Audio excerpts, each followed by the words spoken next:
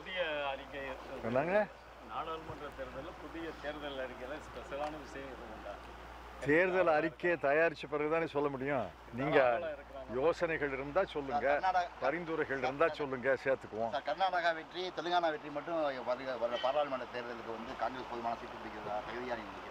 கர்நாடகா தெலுங்கானால சிறப்பான அளவுக்கு நாடாளுமன்ற தொகுதிகளை நாங்கள் வெற்றி பெறுவோம். கர்நாடகத்தில் தெலுங்கானால செம்மையான அரசு அமைந்திருக்கிறது. வாக்குறுதிகளை நிறைவேற்றி கொண்டிருக்கிறார்கள். இரண்டு மாநிலங்களிலையும் இருபத்தி எட்டு பதினேழு நாற்பத்தைந்து இடங்கள் இருக்குது நாற்பத்தைந்து இடங்களில் மிக பெரிய பெரும்பான்மை எங்களுக்கு கிடைக்கும். இந்தியா கூட்டணியில் வந்து சார் பிரதமர் வேட்பாளர் அதை தேர்ந்தெடுக்கிறதுல இன்னும் இதுவரை கிடையாது சார். உங்கள் பெயரையும் பரிந்துரை செஞ்சுருக்கேன்.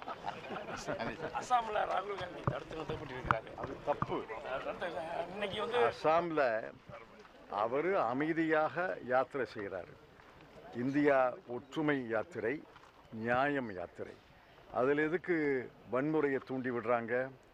அந்த அசாம் முதலமைச்சருடைய பின்பலம் இல்லாமல் இந்த வன்முறை நடந்திருக்க முடியாது. வன்முறை நடந்திருக்கு அந்த வன்முறையை வன்மையாக கண்டிக்கிறோம். இப்போ கன்னியாகுமரியில் தொடங்கி காஷ்மீரில் முடிஞ்சுது. வன்முறை நடந்துச்சா? ஏன் அசாமில் மட்டும் வன்முறை நடக்கிறது? காங்கிரஸ் கட்சியில் இருந்தவர் கட்சி மாறி அங்கே சட்டமன்ற உறுப்பினர்களை அழைத்து கொண்டு கட்சி மாறி ஒரு ஆட்சி அமைச்சிருக்கிறாரு. அவர் எதுக்கு வன்முறையை தூண்டி விடுறாரு? வன்முறையை கட்டுப்படுத்தணுமா இல்லையா? இப்போ தமிழ்நாட்டில் பிரதமர் சுற்றுப்பயணம் செய்தார். வன்முறை நடந்ததா எங்கேயாவது?